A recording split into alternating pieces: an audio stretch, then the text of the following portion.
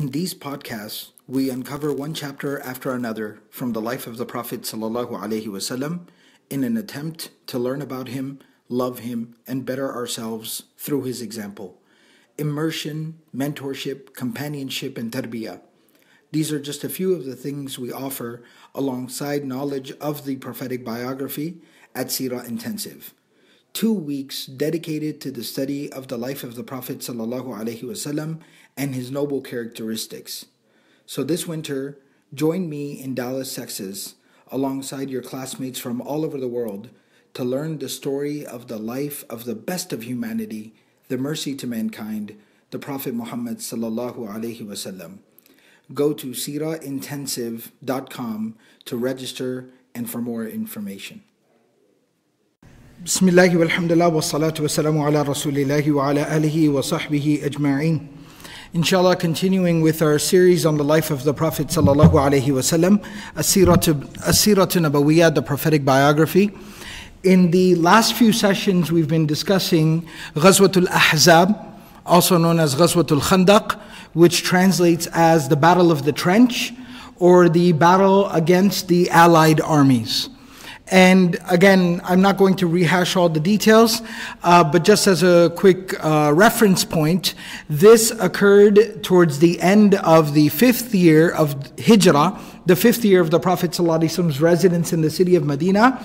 And the background of the situation or the event was that Huyay bin Akhtab, who was one of the leaders of Banu Nadir, this was a tribe, a Jewish tribe that resided outside of Medina that ended up violating the constitution of Medina. They actually attempted to assassinate the Prophet sallallahu alaihi wasallam and due to the violation of the Constitution of Medina, per the terms of the Constitution and the treaty, they were exiled from that region. They went and they took up residence at the place of Khaybar, um, where there were other Jewish tribes. And then from there, he basically conspired and he put together the plan and he recruited the Quraysh along with the people of Ghatfan and they created an allied army of nearly 10,000 strong and launched an assault, an offensive against the city of Medina. The Prophet of Allah wasallam, after consultation with his companions on how to go about in protecting the city of Medina, because the numbers were too overwhelming for them to go outside and face them openly in the battlefield, in an effort to preserve as much life as possible, the Prophet ﷺ accepted the suggestion of Salman al-Farisi radiallahu ta'ala anhu and dug a trench around the city of Medina. Part of the city of Medina was protected by the mountains and they posted, you know, archers and guards on those spots. And then for the rest of the city of Medina, they dug a wide trench that basically served as an obstruction from the army invading the city of Medina. And as we talked about, they then laid siege to the city of Medina for about 20 days. They camped out outside of the trench for about 20 days. They continuously kept trying to attack during that time. They kept a barrage and an assault of arrows coming from across the trench. A couple of times, a couple of misguided individuals actually tried to go through the trench and come out on the other side and maybe try to break some of the ranks of the Muslims, but they were dealt with um, by the Muslims and they were dispersed and taken care of at that time. And so this situation and these sequence of events continue to unfold. Now, what we're going to talk about today in today's session when talking about this particular incident is we're going to talk about how did this battle eventually come to a close? How did it end? And a couple of things that will help to understand the circumstances. We've talked about this lasted for 20, more than 20 days. So you can imagine that it was very difficult and very stressful all right, to have a large enemy, a very overwhelming enemy camped right outside of your gates for over 20 days while you are sitting there waiting, praying and hoping and making every effort possible so that they do not end up crossing over, they don't end up spilling into the city and then wreaking havoc upon all the inhabitants of the city. So it's a very stressful time. Now factor in a second, uh, take into consideration a second factor. The second factor is, is that it was very, very cold. This particular incident took place during the winter time, and it was not only just winter time, but it was one of the most bitter winters that was ever experienced by the people in that area, to the point where it was very remarkable. Even the Muslims and non Muslims alike all noted the fact that this was probably the harshest winter that they had seen in their lifetimes. And the third thing that I want you to take into consideration is that the Muslims were still very much in a stage, the community was in a stage of infancy, was still very, very young. And so they still had a lot of things that they were figuring out. There were a lot of needs that were still to be met of the community, and the community was still under a lot of economic and financial duress. So because of that, they didn't have a lot of you know, finances. They didn't have a lot of resources. And so that created two challenges. Number one, it is already a harsh winter, so they could not afford, they did not have sufficient covering and garments and clothing to shield them from the cold in the winter. So they're all out there shivering and shaking, barely clothed, right? Some Sahaba were to the point of poverty, where typically a very common dress at that time for the people of that area, and this is how the Prophet ﷺ some used to frequently dress as well, is that they would have an izar and a rida. What that means is that they would have a lower garment and an upper garment. Think of how men dress in the ihram when they go for Hajj or Umrah. Very similar to that. They would have a lower garment that they would tie around their waist to cover their body, and then they would have an upper garment that they would kind of wear like a shawl around their shoulders. And that was very, very common, and that was the typical type of dress that most people had, and they were sheets, thin, little, worn out old sheets. Some Sahaba, however, were at the point where they couldn't even afford two sheets. And they had only one sheet to cover themselves.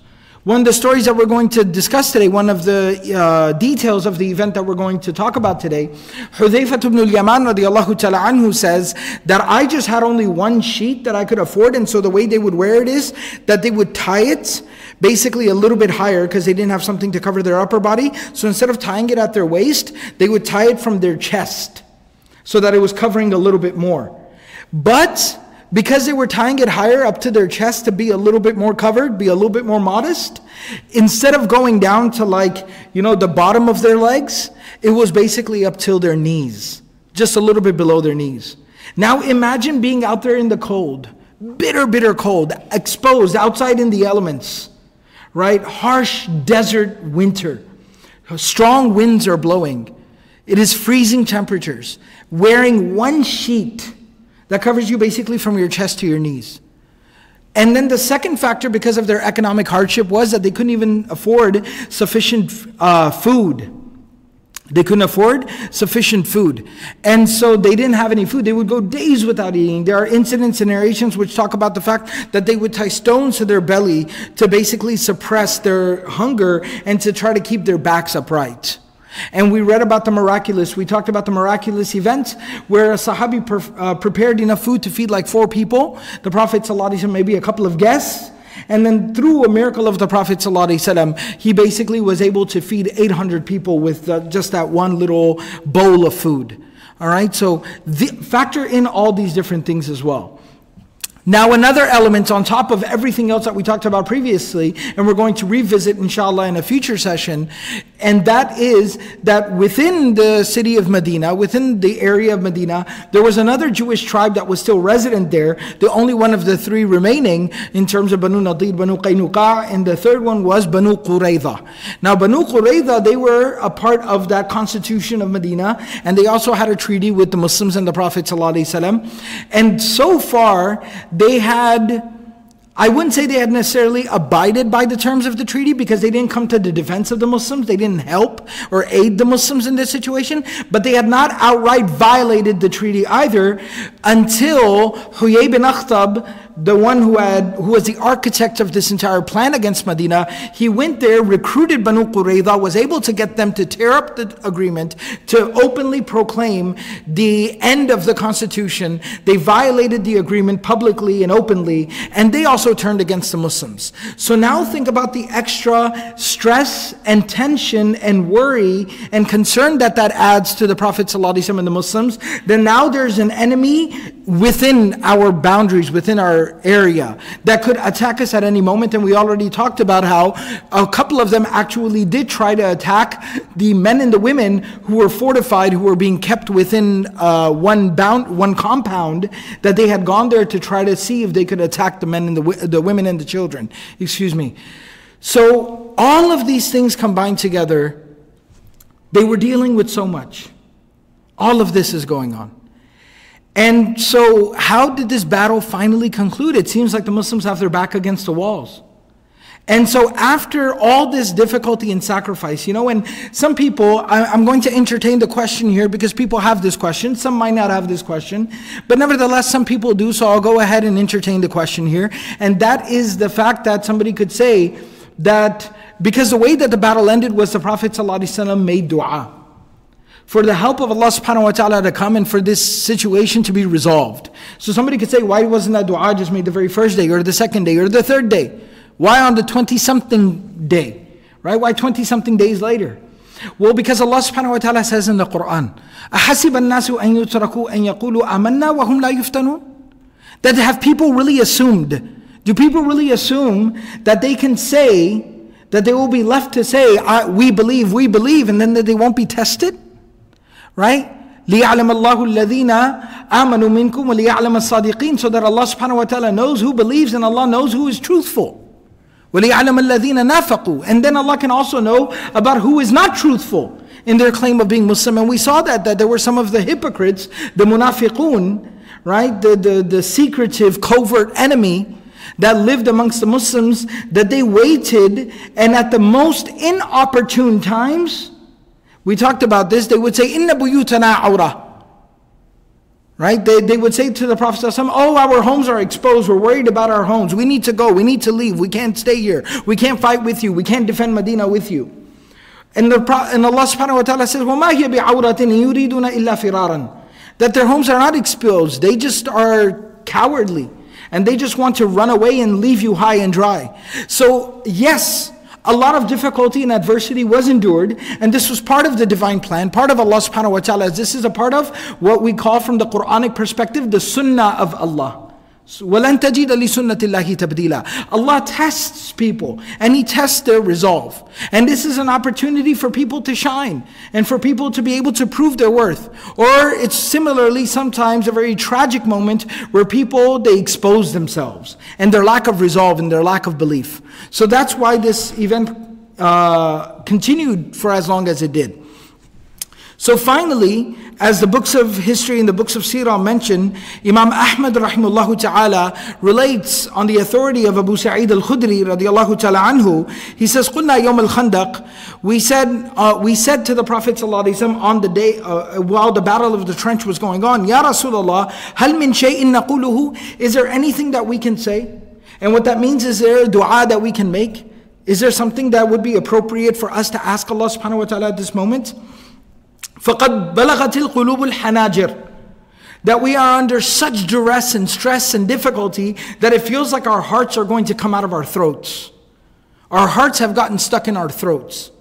Like we can't breathe, we can't sleep. It's too much to bear. And the Prophet ﷺ said, Na'am. He said, Yes. Allahumma astur awratina wa amin rawatina. That he said, make the dua that, oh Allah, protect our homes, and grant our families and us safety and security. Allahumma astur awratina wa amin rawatina. And then he goes on to say, فَضَرَبَ اللَّهُ وُجُوهَ أَعْدَائِهِ بِالرِّيحِ فَهَزَمَهُمُ اللَّهُ بِالرِّيحِ That Allah subhanahu wa ta'ala obliterated the enemy with the wind. And Allah subhanahu wa ta'ala defeated them by means of the wind. In another narration, the Imam Ahmad also relates this from Jabir bin Abdullah radiallahu ta'ala anhu, and the Nabi sallallahu alayhi masjid al-ahzab, that the Prophet sallallahu alayhi came to the place so if you, it's no longer really visible today, but if you visit the city of Medina, the city of the Prophet ﷺ, there is a masjid that is constructed, that is built at the place where the Battle of the Trench occurred, where the trench was dug. There's a big grand masjid that is built there now. But if you had the opportunity to visit back back in the day, and even now you can see some of the remnants of it, that there are different little spots where there were stations of prayer that were established because they had to keep guard over the trench at all times. They couldn't just leave it. So they had different prayer stations, right? They had seven different places where prayer would be established and little prayer stations. And so the Prophet ﷺ came to one of those places where they were praying during the Battle of the Trench for 20 something days. فَوَضَعَ رِدَاءَهُ The Prophet ﷺ, the shawl that he was wearing, he put it down on the ground and basically uncovering his shoulders, uncovering his chest as a sign of desperation before Allah subhanahu wa ta'ala. وَرَفَعَ يَدَيْهِ مَدًّا And the Prophet ﷺ raised his hands all the way up above his head. يَدْعُو عَلَيْهِمْ وَلَمْ يُصَلِّي That the Prophet ﷺ was asking Allah subhanahu wa ta'ala for help against the enemy. And he didn't pray at that time, he just came and he made dua. ثُمَّ جَاء Then he came back a little while later. وَدَعَى عَلَيْهِمْ And he again made dua for help against the enemy. وَصَلَّى And then he prayed. And then in Bukhari and Muslim, Abdullah bin Abi Awfa radiallahu ta'ala anhu says, دعا رسول الله صلى الله عليه وسلم على الأحزاب the Prophet ﷺ made dua for help against the enemy, and he narrates the dua the Prophet ﷺ made. He said, Allahumma munzil al-kitab, sari al-hisab, ihzim al-ahzaba, Allahumma ahzimhum, Allahumma ahzimhum, wa zalzilhum. That in another, another narration, he said, Allahumma hazimhum wansurna alayhim. That the Prophet ﷺ said, Oh Allah, you are the one who reveals the book, the Quran, and you are the one who swiftly deals with matters defeat the enemy for us, and shake them to their core. In another narration, he said, Oh Allah, defeat them and help us against them. And Abu Huraira radiallahu ta'ala anhu in a narration of Bukhari, he says, the Prophet used to say, La ilaha illallah wahda, a'azza junda, wa nasara abda, wa ghalaba al-ahzaba wahda, fala shay'a ba'da that the Prophet ﷺ continued to say, There is no one worthy of worship except for Allah alone. He strengthened his army and he helped his slave referring to himself. And we learn some of the etiquette of dua, that these are words being spoken from the heart. We see the Prophet ﷺ stretching his arms out before Allah subhanahu wa ta'ala. The dua is made from the heart, and you communicate, you pour your heart out to Allah subhanahu wa ta'ala, and you show humility before Allah subhanahu wa ta'ala. He refers to himself, yes, he is the messenger of Allah and the prophet of Allah and the beloved of Allah, but he refers to himself as a slave of Allah. وَنَصَرَ عَبْدًا وَغَلَبَ الْأَحْزَابَ وَحْدًا And Allah alone defeated the allies allied armies. He doesn't doesn't take any credit for it. He says, Oh Allah, you take care of them. And there is nothing after Allah subhanahu wa ta'ala. That everything ends and everything concludes with Allah. And so the Ibn Ishaq and other scholars of the Sira they narrate exactly one of the major things that played into the conclusion of this battle. And that is that after talking about وَأَقَامَ رَسُولُ اللَّهِ صَلَّى اللَّهُ عَلَيْهِ وَأَصْحَابُهُ فِي مَا وَصَفَ اللَّهُ مِنَ الْخَوْفِ وَالشِّدَّةِ That if you read Surah Al-Ahzab, Surah number 33, which we're going to go through that section of it inshallah in the next session, that after you read everything that the Prophet ﷺ and his companions were going through in terms of difficulty and uh, being overwhelmed and having the enemy encroaching upon them, لِتَظَاهُرِ عَدُوِّهِمْ عَلَيْهِمْ وَإِتِيَانِهِمْ إِيَّاهُمْ مِنْ فَوْقِهِمْ وَمِنْ أَسْفَلَ مِنْهُمْ That they were coming from in front of them and there was an enemy coming from the back of them, which was the Banu Qurayda. At that time, a man by the name of Nu'aym ibn Mas'ud, radiallahu ta'ala anhu, who was from Ghatfan. He came to the Prophet ﷺ and he said, Ya Rasulullah, inni qad aslamtu. He was from Ghatfan. He was part of the tribe that was a, that was a member of this allied army against the Muslims and against Medina. He says, I am from Ghatfan. I have become Muslim. وَلَمْ يَعْلَمْ وَإِنَّ قَوْمِي لَمْ يَعْلَمُوا بِإِسْلَامِ But my people do not know that I am Muslim yet. I came with my people, but I am a Muslim, but my people don't know that I'm Muslim. فَمُنِّي بِمَا شِئْتَ So tell me, is there anything I can do in this situation? Is there any way I can assist? So the Prophet ﷺ said, إِنَّمَا أَنْتَ فِينَا رَجُلٌ وَاحِدٌ He said, the Prophet ﷺ said, amongst all of us, you are in a very unique position. You, we have a very unique strategic advantage with you.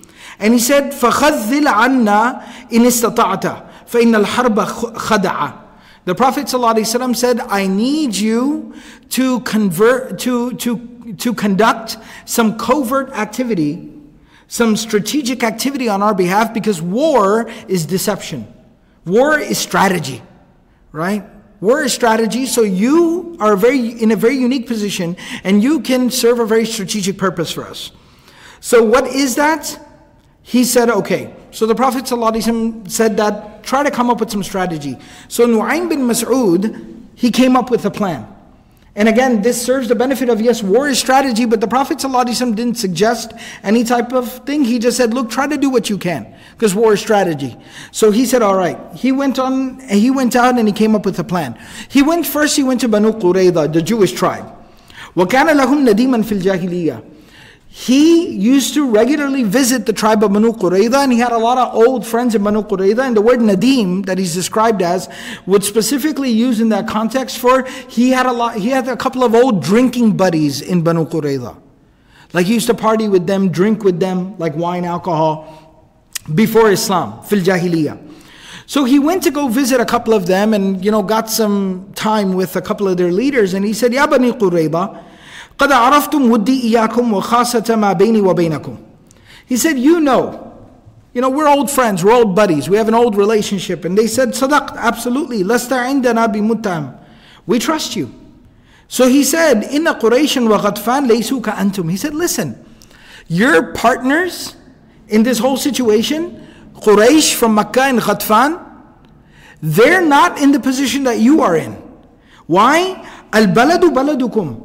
You live here. They don't live here. فيه أموالكم وأبناؤكم ونساؤكم. Your homes are here, your families are here. لا تقدرون على أن تتحولوا منه إلى غيره. You can't go anywhere else. وإن قريشا وغطفان جاءوا لحرب محمد وأصحابه. These people from Quraysh and Ghatfan, they came to fight Muhammad and his companions. وَقَدْ ظَاهَرْتُمُوهُمْ عَلَيْهِ And you also joined up with them against Muhammad wasallam. وَبَلَدُهُمْ وَنِسَاؤُهُمْ وَمَالُهُمْ بِغَيْرِهِ But they can go back home. This is your home. فليسوا كأنتم they're not in your situation فإن رأوا نهزة أصابوها وإن كانوا غير ذلك لحقوا ببلادهم وخلوا بينكم وبين الرجل ببلدكم ولا طاقة لكم به إن خلا بكم So he said that, you know, maybe you'll win. Maybe you'll defeat Muhammad and his companions. But if you're not able to defeat him, Quraysh and Ghatfan are going to go right back home to where they came from. But, and they'll leave you here. They'll abandon you high and dry. Where are you going to go? Then you'll have to deal with Muhammad and his companions by yourself. Right? So what are you going to do? So he said, فَلَا تُقَاتِلُوا مَعَ الْقَوْمِ Don't fight. Don't join forces with these people of Quraysh and Ghatfan against the Muslims. Don't do it. There's only one condition in which you should agree to fight. حتى تأخذوا منهم رهنا من أشرافهم ويكونوا بأيديكم ثقة لكم على أن تقاتلوا معهم محمدا حتى تناجزوه. The only condition in which you should join the fight is if Quraysh and Ghatfan, your supposed partners in this situation, they take some of their notable respectable individuals, and they hand them over to you as a security deposit. Like you will hold some of their notables, some of their leaders, as a security deposit. So that if the war starts to go south, they don't just turn and they don't just leave. Because then you have their people. They have to stay and defend you and fight with you until you're not free of the situation. So when they heard this, they said, لَقَدْ أَشَرْتَ بِالرَّأِي You make a lot of sense. So he convinced Banu Qurayza. Now, the same man, Nu'aym bin Mas'ud, he goes to Quraysh. And he says to Abu Sufyan and some of the other leaders of Quraysh, قَدْ عَرَفْتُ مُدِّي لَكُمْ وَفِرَاقِ مُحَمَّدًا Y'all know that I'm with y'all.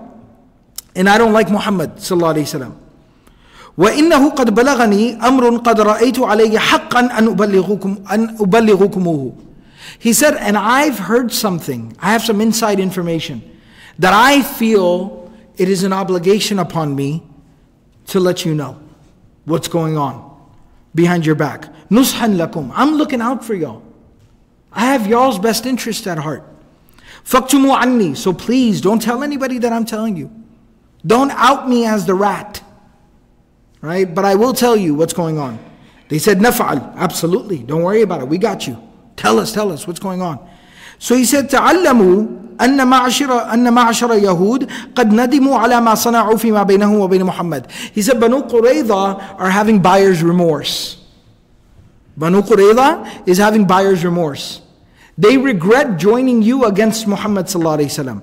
They wish they hadn't violated the constitution of Medina and they want to go back. وقد أرسلوا إليه أن قد ندمنا على ما فعلنا. And they've already sent a message to Muhammad وسلم, that we feel bad about what happened. فهل يرضيك أن نأخذ لك من القبيلتين من قريش وغطفان رجالا من أشرافهم فنعطيكهم فتضرب أعناقهم ثم نكون معك على من بقي منهم حتى نستأصلهم So he said they've sent the word to Muhammad وسلم, and the Muslims we feel bad about what happened allow us to make it up to y'all and the way, the, the, the way we suggest making it up to y'all is that what we're going to do is we're going to continue to act like we're still with Quraysh and Ghatfan. We're going to tell them to hand over some of their leaders to us as a security, right, as a guarantee. And once they hand them over to us, we will come and hand those leaders over to you. And then you can execute them. And that'll take the wind out of uh, from under their wings. That'll suck the air right out of them and their army. And then we will join you in the fight, and then we'll defeat both of them together. This is Banu Qurayza's plan. I'm letting y'all know, Quraysh, because I care about y'all. فَأَرْسِلْ إِلَيْهِمْ أَنَّ نَعَمْ So communicate to them that, yes, that that so when when they فأرسل إليهم النعم so they've agreed to this now فإن بعثت إليكم يهود يلتمسون منكم رهنا من رجالكم فلا تدفعوا إليهم منكم رجلا واحدا so now they've already agreed to this right Banu Qurayza has agreed to this so now when Banu Qurayza comes to you Quraysh listen when Banu Qurayza comes to you and says please look it's only fair we joined you in the fight, so you hand over some of your leaders to us as a security, as a guarantee. Don't you dare hand over even a single person. They're going to stab you in the back. So Quraysh said, okay, okay, we hear you loud and clear. Then he went over to Ghatfan. Now Ghatfan are his people. He said, Ya ma'ashara Ghatfan, innakum asli wa ashirati. He said, oh people of Ghatfan, I'm one of y'all. I'm one of y'all. You're my people. وَأَحَبُّ النَّاسِ إِلَيَّ I love you, I care about you. وَلَا أَرَاكُمْ تَتَّهِمُونَنِي And I trust, I know that y'all trust me. I know that y'all trust me. They said, صدقت ما أنت عندنا بمتهم. They said, of course. We would never doubt you. So he said, okay, فَكْتُمُوا عَنِّي I'm going to tell you something, but you can't tell anybody that I told you. They said, نفعل, absolutely. ثم قال لهم مثل ما قال لقريش then he told them the same thing that he told Quraysh look Banu Qurayza they, they're doing this they're doing that and they're going to come and ask for some of your people don't you hand them over because this is part of their ploy part of their plan so وحذرهم ما حذرهم so he told them all of this فلما كانت ليلة السبت من شوال سنة خمس so it was Saturday night, the night before Saturday, because they would consider Friday evening like go, the night going into Saturday. So it was sa- that night before Saturday, in the month of Shawwal, in the fifth year of Hijrah, right? The Battle of the Trench. وكان من صنع الله من صنع الله تعالى لرسوله أن أرسل أبو سفيان ورؤوس غطفان إلى بني قريظة عكرمة بن أبي الجهل في نفر من قريش وغطفان. And so now Quraysh and Ghatfan are very, very worried about this situation. So Abu Sufyan sends Ikrimah, the son of Abu Jahl, who is considered one of the leaders of the Quraysh. He sends them with a delegate. He sends him with a delegation to go and talk to Banu Qurayza. So they said to them, and he says to them, Ikrimah says to them, إنا لسنا بدار مقام فقد هلك الخف والحافر فعدوا للقتال حتى نناجز محمدا وَنَفْرُغ, وَنَفْرُغَ مِمَّا بَيْنَنَا وَبَيْنَهُ They said, look, we've been camped out outside of Medina. You agreed to join forces with us, but you haven't fought yet. And you are very strategic in this situation because you can basically attack from behind and, and you can infiltrate Medina.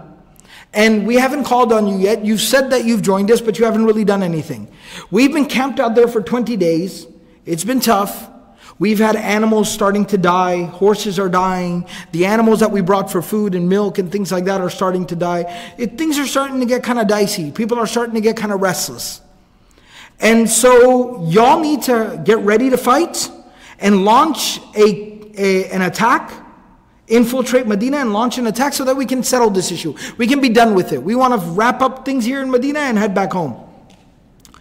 So, Banu Qurayza responded by saying, Inna al-yawma yawmu sabt. Today is the Sabbath. Right? According to Jewish tradition and custom, they said, Inna al-yawma yawmu sabt, wa huwa yawmun la, la na'mal fihi shay'an. It's the Sabbath, we're not allowed to really conduct any type of business or activity on this day. وقد وقد كان أحدث فيه بعضنا حدثا فأصابكم ما لم يخفى ما لم يخفى علينا عليكم ولسنا مع ذلك بالذين نقاتل معكم محمدا حتى تعطونا رهنا من رجالكم يكونون بأيدينا.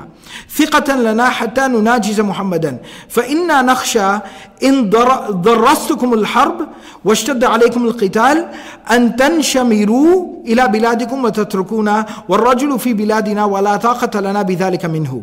They responded by saying, Look, today is the Sabbath. We really can't engage in any type of transaction today, any negotiations today. But we will tell you is one thing that, you know, we've been thinking about a lot of things, and some things have kind of come to light.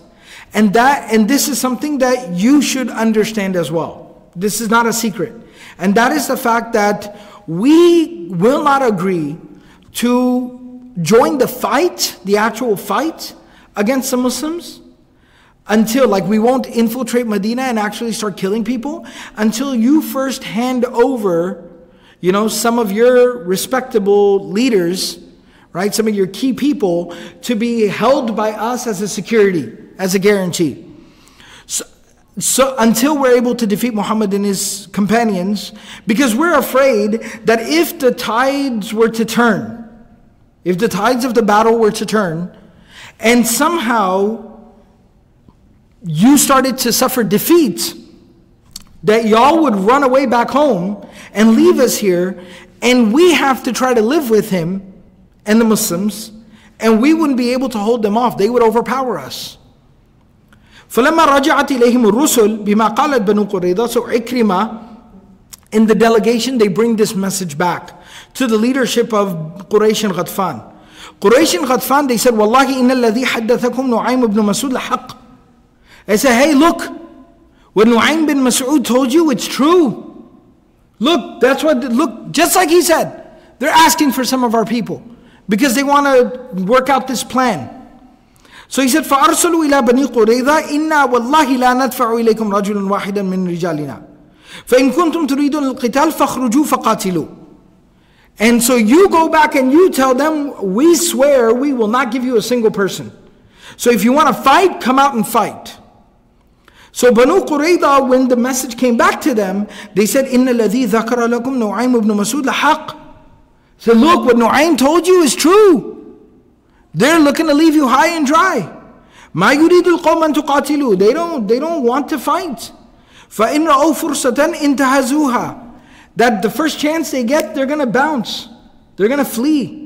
وإن كان غير ذلك إن شمروا إلى بلادهم وخلوا بينكم وبين الرجل في في بلدكم They're going to leave you here to deal with Muhammad صلى الله عليه وسلم and the Muslims by yourself. So you send them the message back فأرسلوا إلى قريش So they sent the message back saying إنا والله ما نقاتل معكم حتى تعطونا رهنا We're not going to fight until you first hand over some leaders to us. We demand that guarantee. So this kept going back and forth for Abaw alayhim. So they kept refusing one another until خَذَّلَ اللَّهُ بَيْنَهُمْ The ranks started to break and people started to divide amongst them. And then finally the narration says, وَبَعَثَ اللَّهُ الرِّيحَ فِي لَيْلَةٍ شَاتِيَةٍ شَدِيدَ شَدِيدَةِ الْبَرْدِ That finally Allah subhanahu wa ta'ala at night sent such a strong severe wind فَجَعَلَتْ تَكْفَأُ قُدُورَهُمْ وَتَطْرَحُ أَبْنِيَتَهُمْ وَآنِيَتَهُمْ that basically the strong wind came to the point where it started to um, knock over all their, uh, the, their, their containers that contained all the food and water. All their supplies started spilling and scattering everywhere due to the wind. Their tents started ripping out of the ground and flying away. The pegs that were nailed down to keep their animals tied up came flying out of the ground, and all the animals started running off and scattering off into different directions, and just it completely obliterated their camp and their army. Now, to further describe exactly what happened in this situation, the, the scholars of the Sirah also mention that at this particular time, and there's multiple different narrations from Ibn Ishaq, and there's also a narration that's found in the Sahih of Imam Muslim, that the Prophet ﷺ at this particular time, he asked, so Hudayfa radiallahu ta'ala anhu, who narrates the incident, he says that the situation had gotten so severe that um, that the Prophet ﷺ, uh, that the situation had gotten so severe that the Sahaba were now so physically overwhelmed due to hunger and weakness and the cold that they were literally like withering away. And so the Prophet ﷺ, he called and he said that I need somebody who will go and, you know, take care of something for me. And he called out a couple of times, and there wasn't anyone that was particularly there. Actually, I'll mention this. Hudayfa radiallahu ta'ala anhu, he when he narrates the incident, he says that some of the students of Hudayfa, some of the tabi'un, Ibrahim ibn Yazid al-Taymi, and others, they narrate, كُنَّا عِنْدَ Hudayfa. We were sitting with Hudayfa radiallahu ta'ala anhu in Kufa, in Iraq, much, much later. And he says, while we were sitting with him, a man said to him, لو أدركت رسول الله صلى الله عليه وسلم قاتلت معه وأبليت that if I would have been with the Prophet ﷺ, I would have fought by his side and I would have served the Prophet. ﷺ. Another uh, few people also started to say that if we were with the Prophet ﷺ, we would have done this and this and this. Some people started to say we would never even let his feet touch the ground. We would carry him everywhere where he went. You know, and this is natural, right? Even when we think of the Prophet ﷺ, that if we were to ever physically be in the company of the Prophet ﷺ, we, do, we would just sit at his feet. Right? We would just sit at his feet. We would be at his beck and call. We would just, you know, hang on every single word. And so they were talking like this. And Hudayfa radiallahu ta'ala anhu, you know, not doubting their love for the Prophet sallallahu but at the same time, Hudayfa radiallahu ta'ala anhu knows, much like how we would be, um, you know, saying things like that. He said, Kunta taf'al dhalik? Really? Is that what you would do? Oh, really? Tell me what else you would do. Tell me, tell me, tell me. Right? And then finally he told them, La tataman, la tamannaw dhalika. Don't wish to be there in that situation. Because y'all don't know if y'all would be able to handle what that situation was like. And then he tells the incident. He says that the Prophet ﷺ was saying, I need somebody to go and take care of a task. And the Prophet ﷺ was looking around until he finally saw me. And the Prophet ﷺ, in one narration, he even says that the Prophet ﷺ called on me. And he said, أَلَا يَأْتِنِي رَجُلٌ بِخَبْرِ الْقَوْمِ يَكُونُ مَعَيَّ يَوْمَ الْقِيَامَةِ Is there anyone who will go infiltrate the opposing army, sneak in behind their ranks, find out what's going there, bring me back the news, and that person will be with me on the day of resurrection. فَلَمْ يُجِبْهُ مِنَّا أَحَدٌ He says that nobody answered. ثُمَّ الثَّانِيَةَ ثُمَّ الثَّالِثَ مِثْلَهُ Then the second time and the third time the Prophet ﷺ called out. Finally the Prophet ﷺ, he said, Ya Hudayfa, Ya Hudayfa. Right? In another narration, he says that he called me Ya Aba Abdullah. Ya Aba Abdullah, like he called me by his kunya. And he says that the Prophet ﷺ, he says at that time, Falam Ajid Buddan. I was so weak and I was so shaking and you know, shivering from the cold. I only had one sheet, one shawl to cover me, and that too, I had borrowed my wife's shawl because it was a little bit thicker. I gave my thin little sheet to my wife because she was inside the home, and I took her thick shawl and wrapped it around myself that went from my chest to my knees to keep me a little bit more warm. And I was basically curled up in a ball. I was in the fetal position, he describes. I was in the fetal position and I was sticking to the ground. And the Prophet said, Ya Hudayfa. And I didn't even have enough energy. I hadn't eaten. I was shaking and shivering from the cold. I couldn't even get my voice out to respond to him. And he said, Qum. Bi khabr al He said, stand up. Go find out what the people are doing. And he said that I barely had any type of energy to be able to like even physically get up from the ground. And he said the Prophet ﷺ came up to me. And in one narration, he says that the Prophet ﷺ, he kind of nudged me with his foot. And he said, come on, let's go.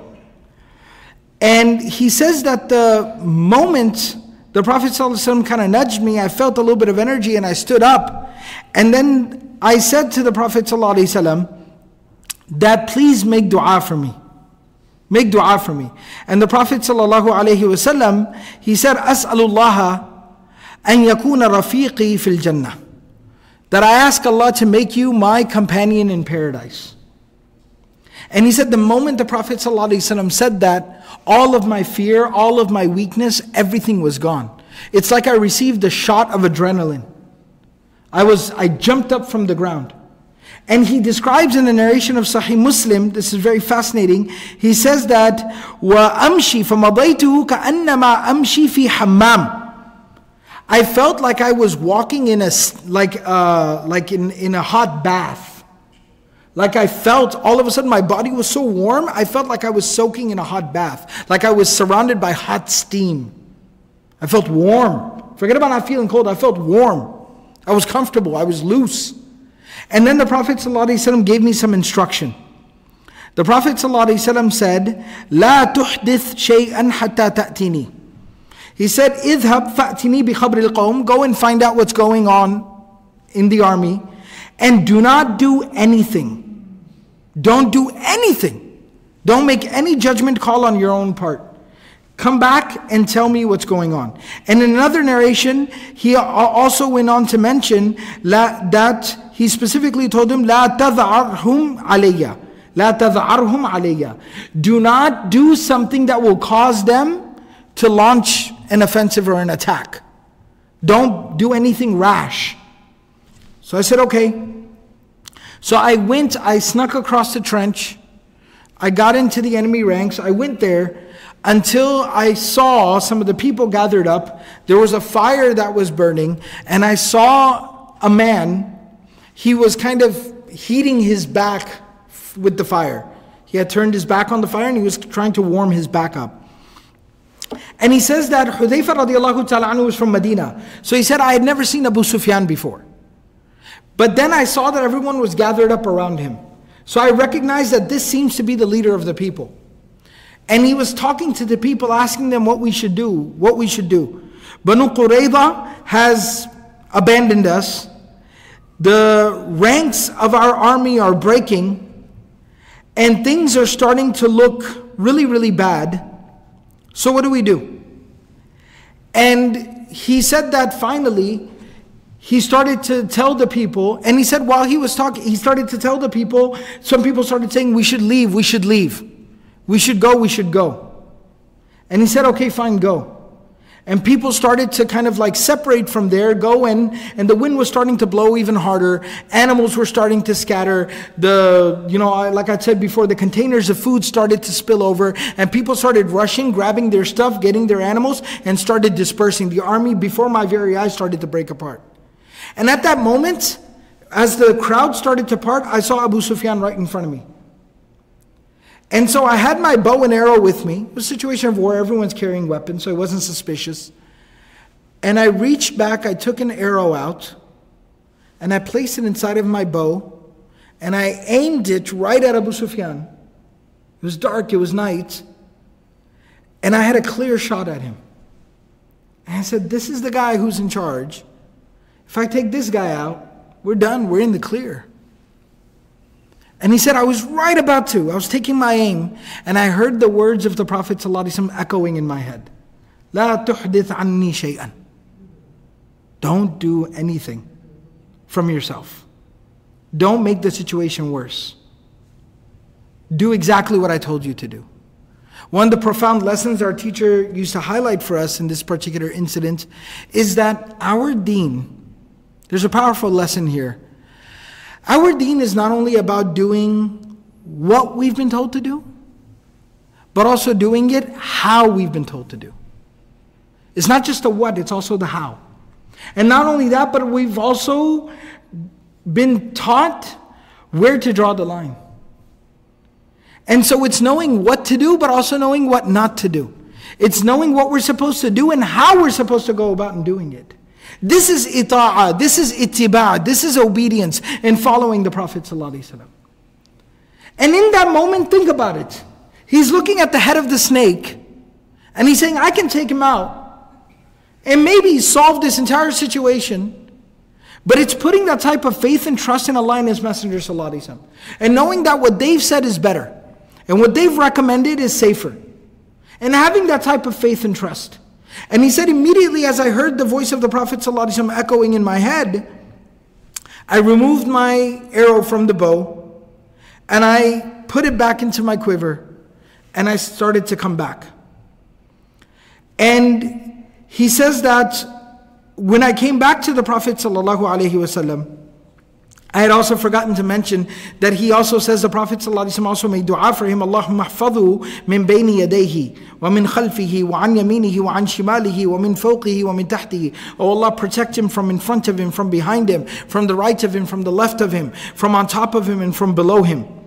So he says that I finally came back to the Prophet ﷺ safe and sound because the Prophet ﷺ had made dua for me. And as I was leaving, this he says people were screaming to one another in the eh, army of the enemy. They were screaming, Ya ala Amir, ar-rahil, ar-rahil, la lakum. Right? Ar-rahil, ar-rahil. Everywhere I heard people saying, come on, come on, let's go, let's go, let's go. We can't stay here any longer. And before my very eyes, the army was departing and the winds were so severe, so harsh. It was like blowing people away. It was knocking people over. And he says the most amazing thing was the second, the second that I stepped out of the enemy camp, the wind was so still that it wouldn't move a hair on my head. Outside of the enemy camp, not a hair would move. And the second you stepped inside the enemy camp, it would blow a human being away. Right? That that was the help of Allah subhanahu wa ta'ala that miraculously came. So he said, I was still feeling like the heat and the energy. I couldn't feel anything of the cold. I was there in the middle of their camp and I did, still didn't feel cold, even with that severe wind. And I came back to the Prophet ﷺ, and as soon as I came back to the Prophet ﷺ, and I sat down and the task was over, it's like all the cold came rushing back to me. And he said, I started to shake and shiver. I was shaking so severely, right? And that I couldn't even control my body. And he says the Prophet ﷺ was standing and praying. And he had a shawl on him, and a little bit of his shawl was kind of like hanging down. And while he was standing, and I was starting to shake and shiver so badly, like almost violently, because the cold just came rushing back to me. Can you imagine freezing temperatures outside, and you go out with like like like an undershirt on or something like that, and the cold just hits you, and you start to shake and shiver. You can't even control your body. It was almost like violent, right? So I started experiencing that, and the Prophet was standing and praying, and his shawl was hanging. The Prophet with his hand, he gestured towards me. He just kind of gestured me at his hand. And I went close, I sat close to the Prophet ﷺ, to the point where I pressed myself up against the leg of the Prophet ﷺ, and the Prophet ﷺ dropped his shawl. Like he was standing, he kind of just dropped his shawl and his shawl covered me. And I sta- laid there hugging the leg of the Prophet ﷺ while he prayed. And immediately the cold was gone from me. I, could, I, I was comforted by the touch of the Prophet ﷺ. And he says that after the Prophet ﷺ was done praying, then I told him exactly what I had seen and what was going on and what was transpiring. Oh, oh, so excuse me. He says that I came and I laid down and I clinged to the Prophet ﷺ until he finished praying. And when he finished praying, I told him what I had seen and that the whole army is dispersed and the help from Allah came and this terrible wind just came and just obliterated their camp and destroyed their army and they're all packing their bags and most of them left. I saw most of them leaving. And the Prophet ﷺ said, Alhamdulillah, that's the help from Allah. And then the Prophet ﷺ, it was nighttime, so it was his qiyam time. So the Prophet ﷺ continued to sit there and continued to pray. And the Prophet ﷺ didn't tell me to move, so I said, I'm not going to move. So he said that I continued to lay there next to touching the leg of the Prophet ﷺ with his shawl kind of like covering me, and I fell asleep. And I kept on sleeping. I just slept there for the whatever time was left of the night, an hour or two that was left in the night. I just laid there sleeping in curled up in a ball next to the Prophet ﷺ, covered by his shawl until it was time for Fajr. And he says that فَلَمَّا أَصْبَحْتُ Finally when it was Fajr time and the adhan was called and it was time to go pray, the Prophet ﷺ kind of nudged me and he said, قُمْ يَا نَوْمَانِ He said, wake up sleepyhead. Wake up, wake up, sleepyhead. Enough. That's enough sleep. Let's go. Let's go pray Fajr. And he said, then I went and I prayed Fajr with the Prophet ﷺ. And that's how the battle of the trench was concluded. And Allah subhanahu wa ta'ala says, and we're going to go through Surah Al-Ahzab, Surah number 33, properly, and you'll see all these events unfolding. But Allah says, Ya ayyuhalladhina amanu, O you who believe, udhkuru ni'matallahi alaykum. That recall, remember, remind yourself, recollect, remind one another of the blessings of Allah upon you. إِذْ جَاءَتْكُمْ جُنُودٌ When the armies all gathered together and came, among, came against you, فَأَرْسَلْنَا عَلَيْهِمْ رِيحًا but we unleashed the wind upon them. وَجُنُودًا لَمْ تَرَوْهَا And we released an army upon them that you can't even see. The invisible wind. We unleashed the army of the invisible wind upon them. وَكَانَ اللَّهُ بِمَا تَعْمَلُونَ بَصِيرًا Allah was watching over you the entire time. Allah had your back and Allah was watching over you. And Allah subhanahu wa ta'ala, He said, وَكَفَ اللَّهُ الْمُؤْمِنِينَ الْقِتَالِ That Allah subhanahu wa ta'ala made it so that the believers did not have to end up fighting them.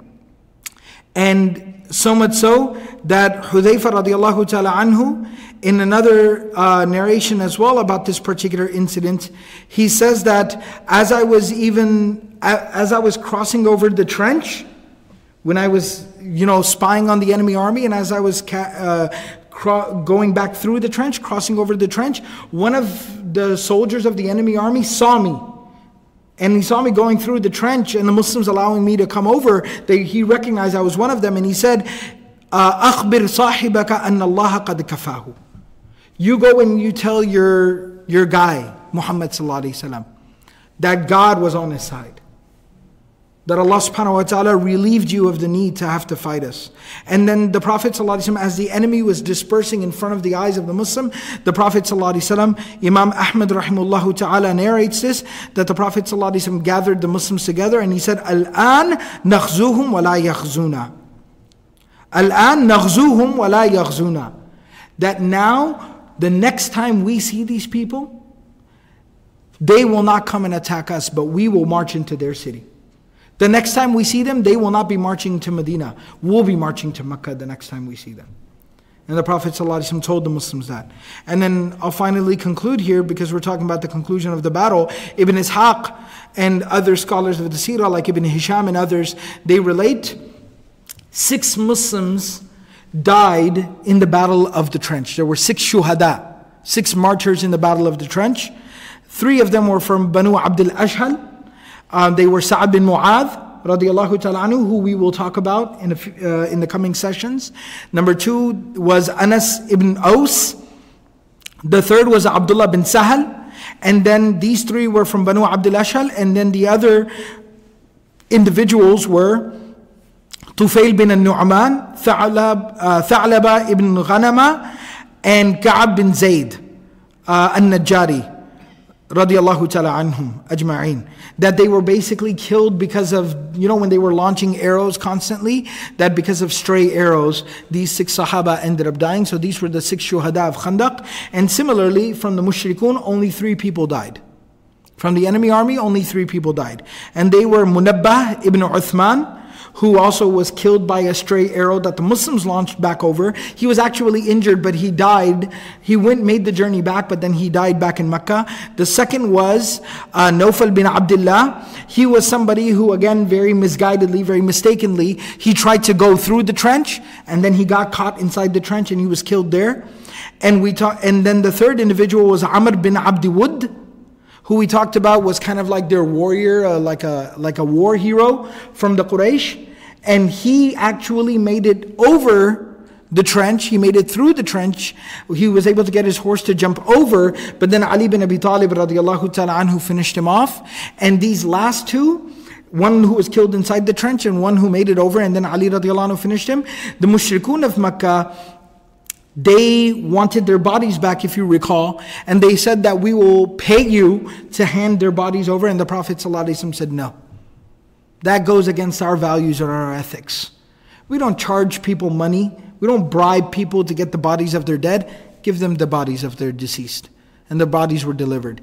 So now you see also part of the wisdom of the Prophet ﷺ. And for anybody, for a lot of the unfortunate, you know, in uh, misinformed and incorrect uh, analysis that goes on about Islam and the history of Islam, particularly the life of the Prophet where they would dare to make these false accusations about the Prophet or the Muslims being bloodthirsty and killing people and massacring people. The Prophet put his own people through such difficulty and duress and hardship that for three weeks they were hungry and thirsty, withering away, shriveling, sh- shriveling away in the cold. And he would endure all of that to avoid the massive loss of life. To the point where only nine people died in this incident. Such a huge incident. And only nine people died, only three of the enemy died. That that was the wisdom of the Prophet ﷺ. That the Prophet ﷺ was all about the preservation of life. That was his goal and objective. That if they are Muslims, how we can preserve their lives, of course. And even if they're non-Muslims, how we, can we still preserve their lives and show them the lights and bring them to Islam so that they can be successful not only in this life, but in the eternal life of the hereafter. That was the goal and the objective of the Prophet. How can we take all of humanity, all of mankind to paradise? May Allah subhanahu wa ta'ala grant us the ability to live our lives in accordance with the prophetic legacy. And may Allah subhanahu wa ta'ala grant us the insight of the beautiful life of the Prophet. May Allah subhanahu wa ta'ala allow us to live and conduct ourselves in accordance with the Quran, principles of the Book of Allah, the Quran, and the Sunnah of the Prophet. And may Allah subhanahu wa ta'ala grant us the ability to practice everything that we've said and heard. Subhanallah wa bihamdihi, subhanakallah wa bihamdik, nashadu la ilaha illa anta, nastaghfiruka wa natubu ilayk. I know that we're kind of like covering the end of the incident. If anybody uh, would like to study the beginning of the incident and maybe isn't familiar with everything that happened, alhamdulillah, every week we conduct a session here. And so um, what you're able to do, we record it for the benefit of the, you know, the general community, brothers and sisters everywhere. So if you go to Qalam's website, qalaminstitute.org, um, you can there listen to the podcast, download the previous sessions, and inshallah benefit you and your family. May Allah subhanahu wa ta'ala accept. Assalamu alaikum wa rahmatullah.